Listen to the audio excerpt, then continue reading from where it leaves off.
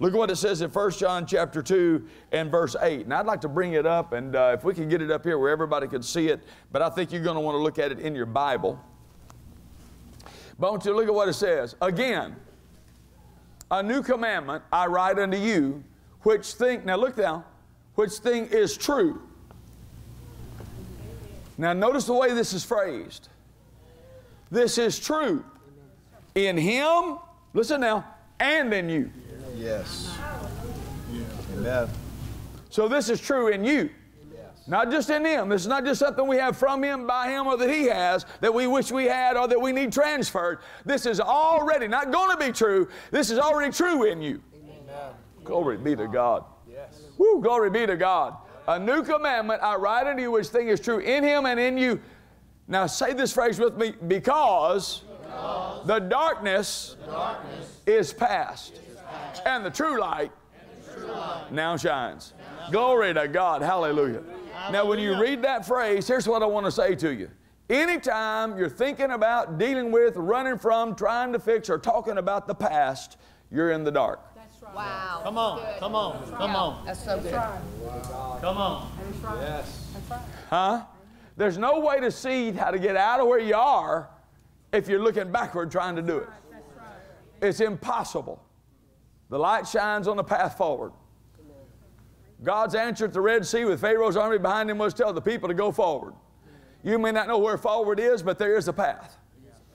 And there is a path that's a supernatural one out into like it never happened. Glory be to God. Hallelujah. Now, there's another phrase that the Lord's telling me out of the mouth of two or three witnesses, every word's established. And I believe the scripture, not the scripture, but uh, the Spirit of the Lord is here in this wonderful Holy Ghost meeting to cause these things to happen, to manifest in our midst. It's Luke chapter 4, and it's the story where Satan comes at Jesus. But I still remember I was in the state of Alabama uh, some, you know, some time ago when I was meditating on this, and the word of the Lord came to me just like I'm talking to you. And I was about to step into a meeting, and once again, He brings it up in my spirit. This is the second time, and it has a specific application here tonight for those people I was just referring to. If you're dealing with the past, thinking about the past, struggling with the past, if you're not giving yourself permission to be totally restored, to go forward, to take these steps, if you're not, you're in the dark. And you're never coming out as long as you're going to deal with it, cycle it, think about it, talk about it, because your acknowledgement has to be what God has done in you through Christ Jesus. Because the true light now shines, and it's true in Him, but it's already true in you. The fact that your dark past is past is already true, not just in Him, it's true in you. Yes. Glory to God. Do you see that? Glory be to God. Now, the word of the Lord came to me when I was in Alabama, and he was referring to this issue. And where Satan came to Jesus and said, If you'll worship me, all shall be yours. And I'm not going to go through all the temptations, but I want you to look at Jesus' response to the devil. This is Luke chapter 4, verse 8. Jesus answered and said to him, Get thee, talking to the devil now, Yeah. get thee behind me, Satan. Yes. Where is Satan's proper position? So the only place he can talk to you is from is your past. Amen. Glory be to God. Amen. Amen. Glory be to God. And the word of the Lord came to me in Alabama, and I'm going to say to you under the anointing what he said to me that day. The Lord said to me, Tell the people, it's time to put behind you what's behind you. That's right. Glory be to God. Oh, glory be to God. And when he said it, I mean, something ripped through me. And I'm telling you right now, everybody in the sound of my voice, it is time to put behind you what's behind you. Glory be to God. You'll find it very interesting. Mark's Gospel, chapter 3. Blessed be the name of the Lord. Now, we, he, he wants to remove the mixture out of your heart concerning how you see yourself. He doesn't want you in here struggling that you are what the Bible says you are, but I'm trying to achieve that because of what I did. See, that's two different people. You're not two different people. It's either true in him and true in you, or it's true that you're a big flat failure and you need to go and leave now because there's no help for you. But you can't be both. You're either the righteousness of God in Christ or no unworthy sinner. But you can't be both.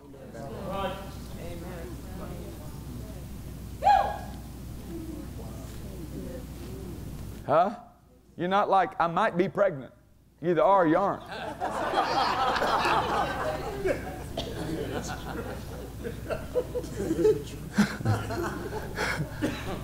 huh? These things are true in the Spirit as well. And uh, notice what it says here in Mark chapter 3. Glory be to God. It says, And he called them unto him. And that's after he cast the devil out. And we're talking about deliverance, right? And he said, How can Satan cast out Satan? So there's nothing from this world that can give you victory over this world. Glory to God. So he says, How can Satan cast out Satan? If a kingdom be divided against itself, the kingdom cannot stand. And if a house be divided against itself, that house cannot stand. And if Satan rise up against himself, he cannot stand, but hath an end. Say, but hath an end. That tells us right there you can put Satan's works to an end. Yes. Say it out loud. I can. I have the authority. We have all authority in heaven and earth. And by the name of Jesus and the help of the power of the anointing of the Holy Spirit and the everlasting word of the blood of the covenant of the everlasting God who cannot change, I can put every work of the devil in my life and put an end to it. Glory to God. Hallelujah. Give the Lord a shout. Hallelujah. There's freedom in the house. Here's what he says here. He says, No man can enter a strong man's house and spoil his goods except he will first bind the strong man and then he will spoil his house. So here is a cardinal spiritual law that will never change. The strongest spirit shall rule. So if you're ever going to get free and conquer something, you're going to have to get strong in spirit.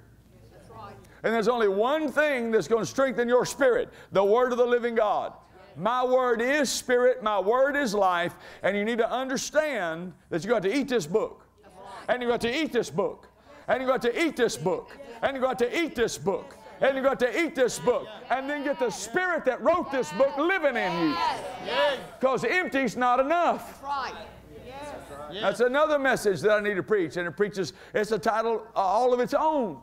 And that is found in Matthew 12, where he casts the devil out of a man. He goes in far dry places, seeking rest, come back, finds the house empty, swept, and garnished. That means garnished means put in order and all of that. But it was empty. Empty, swept, so that means it was clean, not unclean, and put in order. So you got a life that's in order, you got a life that's clean, but you got a life that's empty. Which means empty is not enough. Amen. Amen? So that spiritual law will always be. Now look at this. Verily I say unto you, all sins shall be forgiven unto the sons of men, and blasphemies wherewith soever they shall blaspheme. But, now we've read this to mean there's an exception. There's one sin can't be forgiven. But that's not what he's teaching here. Now, there is an unpardonable sin, but very few people, almost nobody in the room even qualifies. So I don't have time to get into that. Because to commit that sin, you got to qualify. And most of the people I know are such baby Christians, they couldn't even hope to qualify. It's true. It's true.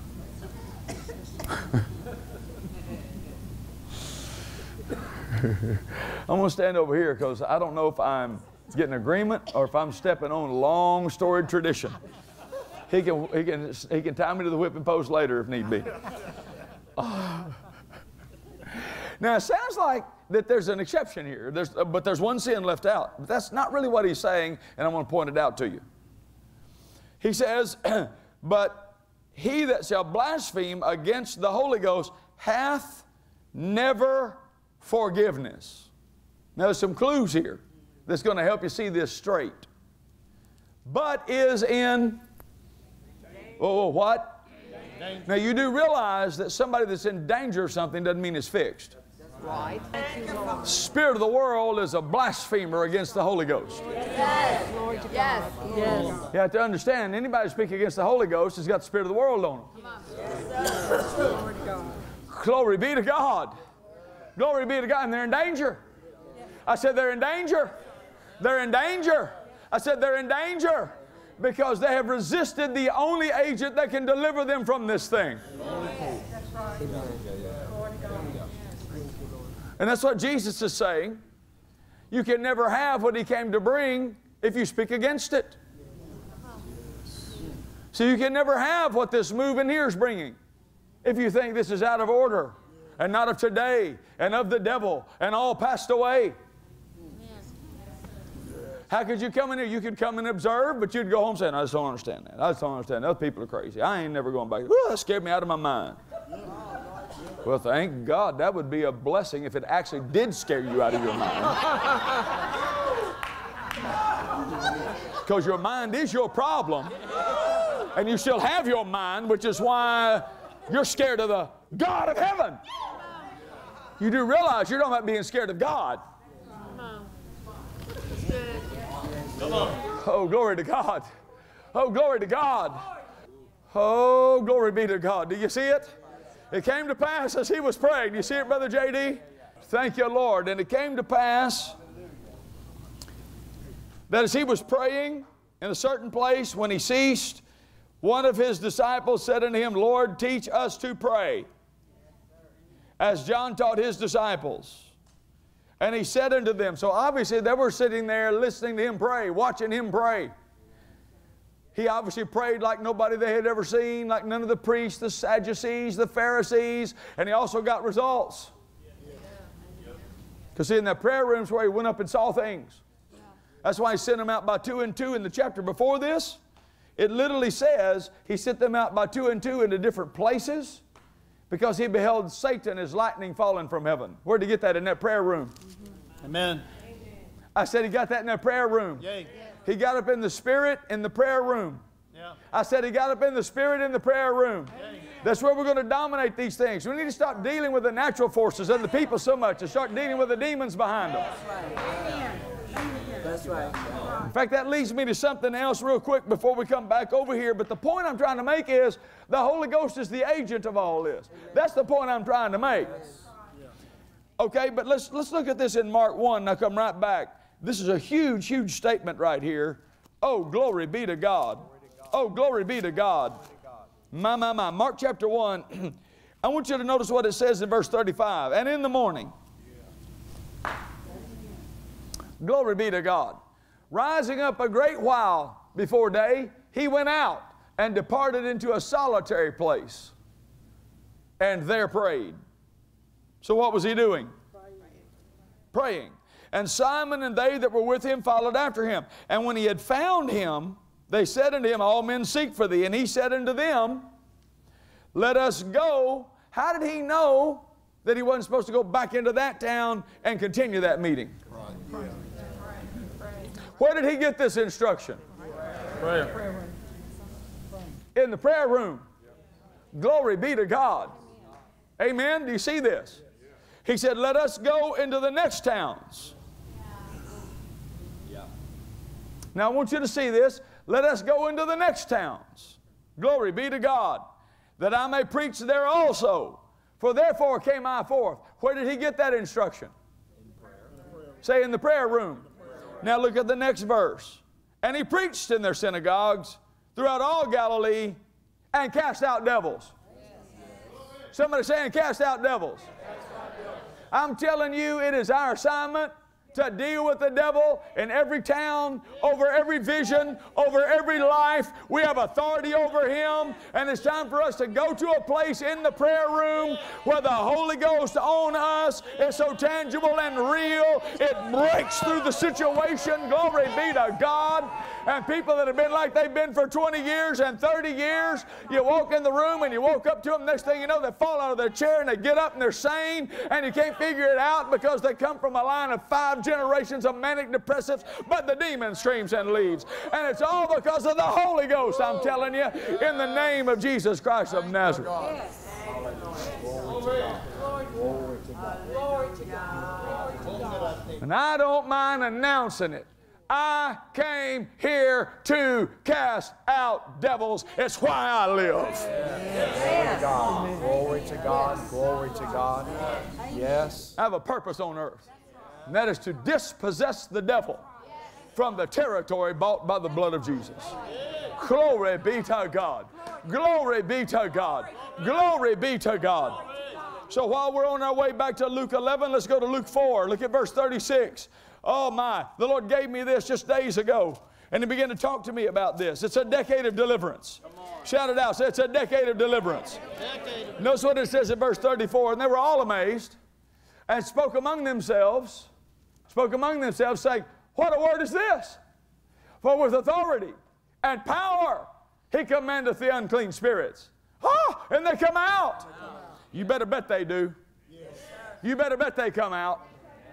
As I was stepping into this room, one of the things that the Lord spoke to me, and uh, I began to write it down. I, I, wrote it down and, and put it right here while we were. Um, God began to deal with me about this with the Holy Ghost. And uh, I want to make sure that I've got the right thing. That are, there it is, right there. Um, sometime before the turn of the year, uh, I've got the top here, decade of deliverance. And the Lord spoke to me, and I, of course, I've known this for years. In Matthew 12, it says, If I cast out devils by the Spirit of God, then the kingdom of God's come upon you. Right. So clearly, the Holy Ghost is the agent of dispossessing the devil. Amen. He's the breaker, He's the one that breaks the yoke. Amen? Amen? Now, we see Him as the agent of God on a dark, chaotic earth. Amen. He's introduced to us as moving over an earth that's dark and out of order. Amen? And so, what I want to say to you is what the Lord said to me he began to say, Tell the people the delivering agent is the Holy Ghost. Yes, yes. Are you hearing me? The delivering agent is the Holy Ghost. And here's what he said for me to tell you the one hovering over the chaotic world in the beginning is the same Spirit hovering over your chaotic life. Bringing it into order. That's right. That's right. That's right. Glory be to God. That's why He's here. The Lord is that Spirit. And where the Spirit of the Lord is, there is liberty. We were worshiping God tonight during worship by the Holy Ghost. The word of the Lord came to me and He said, He said, just ask the people. Just get them to think about this for a second. He said, uh, Where would you be? Where would we be without our Lord and Savior submitting His ministry to the Holy Ghost? That thought had never occurred to me just that way. But it dawned on me that he didn't do anything in his ministry that he did till he got filled with the Holy Spirit. Yeah, come on. That's right. It occurred to me that John the Baptist didn't want to do it, resisted it. That he had to say, allow it to be, yield, submit yourself, respond to what I'm telling you to do. It becomes us to fulfill. Evidently, he couldn't get fulfilled what he needed fulfilled without being filled with the Holy Ghost. Hallelujah. Yay. He's the sinless Son of God, which means he is born, eh, he is not born again, but he's the sinless Son of God, which means he's already born of the Spirit. Yep. But everybody in the Word of God has the same pattern. You must first be born of the Spirit, then you must be filled with the Spirit. Yep. Jesus is our pattern. He was born of the Spirit as a baby, but he didn't do any miracles for 30 years. Because his miracle ministry wasn't in who he was, it was in what was upon him. So, what kind of ministry would Jesus have had had he not submitted to the Holy Spirit? What kind of ministry would Jesus have had had he not yielded to the Holy Spirit when the Holy Spirit wanted to move in a situation? Well, I'll tell you what kind of ministry he had. First Church of the Frigidaire. Same kind of ministry people have today with no Holy Ghost just like the Sadducees and the Pharisees, full of religious tradition and no power. You see, his ministry that he would have had without the Holy Ghost every Sunday morning all across America.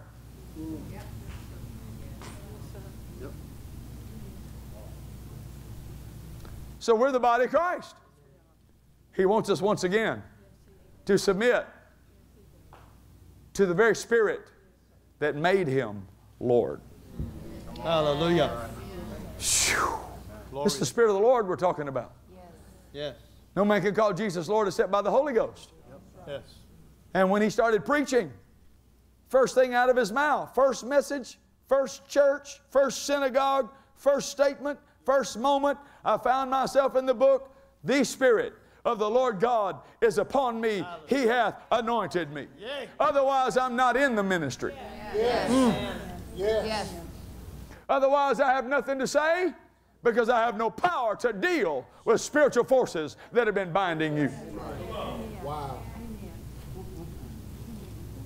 He didn't cut the disciples loose in their own ministry till they got clothed, till they got empowered, till they got endued, till they got filled, till they received the promise. The, the early church, the beginning of our church, knows no such thing as any Christian ministry without the power of the Holy Ghost.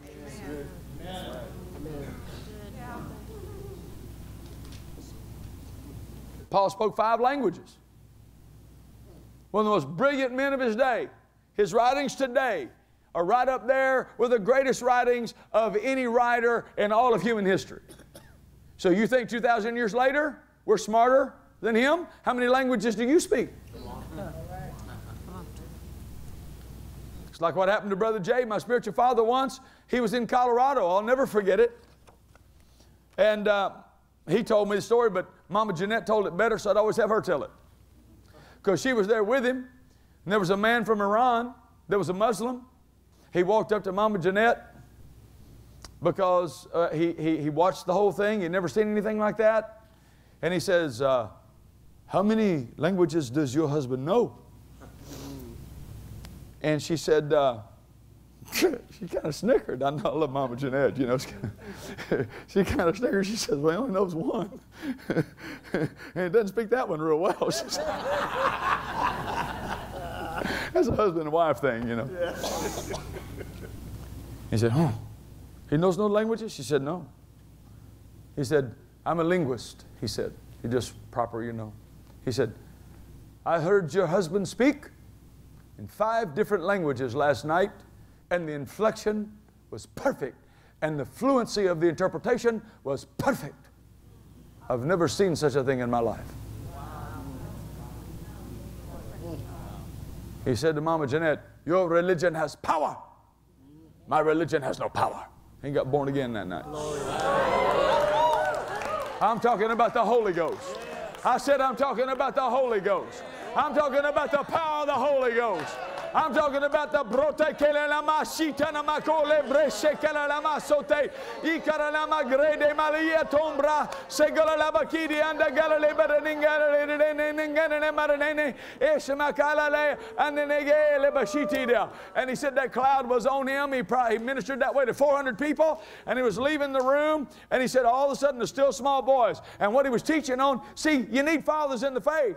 This creased me. I've never forgotten it. I don't talk about it a lot. I've never forgotten it. He talked about Jesus and how Jesus was. And his message that night, talking, all of that was a kind of a sidebar, but it blessed my, did it bless you? Bless my life so much. But he talked about something that happened to him in that very same meeting, Brother JD, and he was telling the story to get to that point, And he was talking about Jesus and how sensitive he was in ministry. And he's painted the stage about all the people that were thronging Jesus and all the people that were surrounding him with a woman with issue of blood, and the pulls, and the distractions, and the street, and the fact that Jairus had come and he's going to raise a little girl from the dead. And at the very moment, then his uh, come from his house, don't trouble the master anymore, the daughter's already dead. You're dealing with a situation to where he's the hope, he's the one expected to go raise the girl from the dead. The streets are full of people. They've heard this, they're following him along wailing. You got all of this going on around him, and she comes in the press behind, touches the hem of his garment, and in the middle of all that chaos, it stopped Jesus in his tracks. Yay. How sensitive do you have to be? Come on. Come on. To no matter what's going on in the moment. Yeah. Because the Holy Ghost is always, do you hear me? Always, always doing more in any given moment than you have any idea He's doing. Yay. So while he's pressing through all that mess to raise that girl from the dead, here's a woman that is getting a financial miracle, a family miracle, a social miracle, an incurable disease miracle. Her body gets healed, her mind gets clear, her spirit gets cleansed, her finances stop bleeding out, her husband can come home, her social life gets restored, her destiny gets restored, and it was just a still small touch, and he felt it drain out, and he stopped and said, Who touched me? I'm telling you, the body of Christ needs to know right now that's flowing out in this crowd right now. There's virtue flowing out in this crowd right now. You don't have to wait for somebody to do something spectacular. You need to receive it on the inside of you. It's happening right now. His name is the Holy Ghost. The Holy Spirit is the healing Spirit. He's the delivering Spirit. He's the helper. Glory be to God. He's the helper. Thank you, Lord. Thank you, Lord. All right, so this is what I want to finish with this phrase. It keeps coming up in my heart. First responders. Can you say that? We're going to be known as first responders.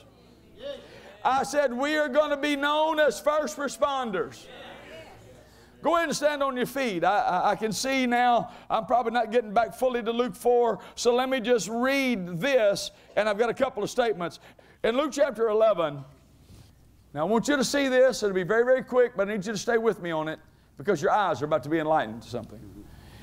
It came to pass as he was praying, he said, Teach us how to pray. And here's what he said When you pray, say, Our Father.